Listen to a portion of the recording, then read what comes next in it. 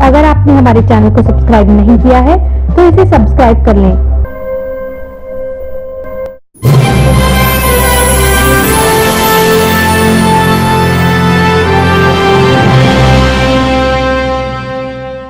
राष्ट्रीय रक्तदान दिवस पर जागरूकता रैली निकाली पुलिस रामनगर में निकाली गई। लोगों को खून दान करने की प्रेरणा दी। आज एक अक्टूबर खून दान दिवस के मौके पे एक विशाल रैली कटी गई। ਜਿਹੜੀ ਕਿ ਇਹ ਸਮੂਹ ਬਠਿੰਡਾ ਨਿਵਾਸੀਆਂ ਦੇ ਸਹਿਯੋਗ ਨਾਲ ਕੱਢੀ ਗਈ। ਅਸੀਂ ਇਹ ਰੈਲੀ ਸੰਦੇਸ਼ ਦੇਣ ਲਈ ਕੱਢੀ ਹੈ ਕਿ ਅੱਜ ਕੱਲ੍ਹ ਖੂਨ ਦੀ ਬਹੁਤ ਜ਼ਿਆਦਾ ਲੋੜ ਪੈਂਦੀ ਹੈ ਕਿਉਂਕਿ ਡੇਂਗੂ ਹੋ ਗਿਆ, ਥੈਲੇਸੀਮੀਆ ਦੇ ਪੇਸ਼ੈਂਟ ਹੋ ਗਏ, ਕੈਂਸਰ ਦੇ ਪੇਸ਼ੈਂਟ ਹੋ ਗਏ, ਵੀ ਖੂਨ ਦੇਣ ਵਾਲੇ ਲੋਕ ਬਹੁਤ ਘੱਟ ਹਨ। ਉਹ ਅਸੀਂ ਇਹੀ ਮੈਸੇਜ ਦੇਣਾ ਚਾਹੁੰਦੇ ਹਾਂ ਵੀ ਜਿਹੜੀ ਲਹਿਰ ਹੈ ਵੀ ਇਹ ਖੂਨਦਾਨ ਦੀ ਨੂੰ ਆਓ ਮਿਲ ਜੁਲ ਕੇ ਘਰ ਘਰ ਪਹੁੰਚਾਈਏ। ਖੂਨ ਆਓ, ਮਿਲ ਕੇ ਖੂਨਦਾਨ ਕਰੀਏ। ਤਾਂ ਉਂਝ ਵੀ ਮੱਚ ਜਾਵੇਗਾ ਆਓ ਦਾਨ ਕਰੀਏ ਕੋਈ ਬਚ ਜਾਵੇ।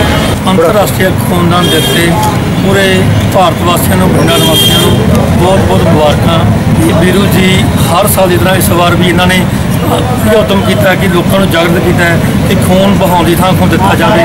ਤਾਂ ਜੋ ਜਿਹੜੇ ਪੇਸ਼ੈਂਟ ਕੋਈ ਐਕਸੀਡੈਂਟ ਕੇਸ ਆ ਜਾਂ ਥੈਲੇਸੀਮੀਆ ਜਾਂ ਡੇਂਗੂ ਹੈ ਉਹਨਾਂ ਨੂੰ ਖੂਨ ਦੀ ਜ਼ਰੂਰਤ ਰਹਿੰਦੀ ਹੈ ਤੇ ਭੱਜ ਹੋ ਸਕੇ।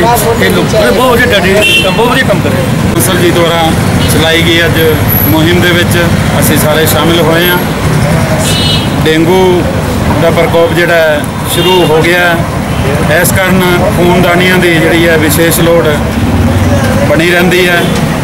ਆਓ ਸਾਰੇ ਰਲ ਮਿਲ ਕੇ ਇਸ ਖੂਨਦਾਨ ਮੁਹਿੰਮ ਨੂੰ ਜਿਹੜੇ ਭਾਈ ਸਾਹਿਬ ਸਾਡੇ ਵੀਰ ਬਿਰਬਲ ਬਾਂਸਲ ਜੀ ਨੇ ਅੱਜ ਇਸ ਮੁਹਿੰਮ ਨੂੰ ਇਸ ਰੈਲੀ ਨੂੰ ਉਪਰਾਲਾ ਕੀਤਾ ਹੈ। ਇਹਦੇ ਵਿੱਚ ਵੱਧ ਚੜ ਕੇ ਹਿੱਸਾ ਲਈਏ ਤੇ ਖੂਨਦਾਨ ਦੇਣ ਲਈ ਹਰੇਕ ਟਾਈਮ ਤਤਪਰ ਰਹੀਏ, ਤਿਆਰ ਰਹੀਏ। ਪਰ ਵੀਰੂ ਬੰਸਲ ਆਪਣੇ ਵੱਡੇ ਭਰਾ ਤੇ ਸਾਡੀ ਬਠਿੰਡਾ ਐਮਰਜੈਂਸੀ ਵੈਲਫੇਅਰ ਸੁਸਾਇਟੀ ਵੱਲੋਂ ਗੱਠ ਜੋੜ ਕੇ ਬਲੱਡ ਡੋਨੇਸ਼ਨ ਰੈਲੀ ਕੱਢੀ ਗਈ ਹੈ। ਇਸ ਦੇ ਵਿੱਚ ਅਸੀਂ ਬਲੱਡ ਲਈ ਜਾਗਰੂਕ ਕਰ ਰਹੇ ਹਾਂ। ਲੋਕਾਂ ਨੂੰ ਕਿ ਹੁਣ ਡੇਂਗੂ ਦਾ ਸੀਜ਼ਨ ਸਟਾਰਟ ਹੋ ਗਿਆ ਹੈ। ਕਿਉਂਕਿ ਡੇਂਗੂ ਦੇ ਵਿੱਚ ਜ਼ਿਆਦਾਤਰ ਪੀਆਰਪੀ ਸੈੱਲ ਵਗੈਰਾ ਲੱਗਦੇ ਹਨ ਜਿਸ ਨੂੰ ਅਸੀਂ ਇਹੀ ਕਹਿੰਦੇ ਹਾਂ ਲੋਕਾਂ ਨੂੰ ਅਪੀਲ ਕਰਦੇ ਹਾਂ ਕਿ ਅੱਗੇ ਵੱਧ ਕੇ ਐਮਰਜੈਂਸੀ ਖੂਨਦਾਨ ਕਰੋ ਕਿਉਂਕਿ ਹਰ ਘਰ ਦੇ ਵਿੱਚ ਇੱਕ ਬੰਦਾ ਖੂਨਦਾਨ ਕਰੇਗਾ ਸਾਨੂੰ ਇਹ ਹੈ ਕਿ ਬਲੱਡ ਬੈਂਕ ਖੂਨ ਨਾਲ ਭਰ ਜਾਵੇਗਾ ਤਾਂ ਸਮੇਂ 'ਚ ਖੂਨ ਦੀ ਕਮੀ ਨਹੀਂ ਹੋਵੇਗੀ कैमरामैन कुलविंदर सिंह के साथ अनिल कुमार की रिपोर्ट अगर आपने हमारे चैनल को सब्सक्राइब नहीं किया है तो इसे सब्सक्राइब कर लें